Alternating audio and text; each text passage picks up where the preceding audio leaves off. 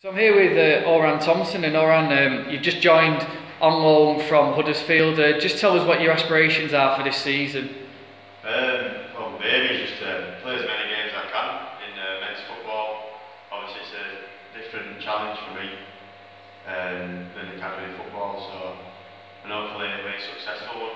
We've got a good squad together, um, good balance of experience and youth, so hopefully we'll And in terms of people if they don't know anything about yourself, just tell them a bit more uh, about your position and, and, what your strengths are and things like that. I'm a, I'm a centre half. I'm good in the air. I'm aggressive front foot defending and quite good physically as well. So yeah, I can play right back as well. So hopefully I'll get in the team. So take my chance. And what, what do you know about the league? What do you know that you kind of what you're coming into? I've been on loan at Brighouse before, so I know it's quite direct and physical.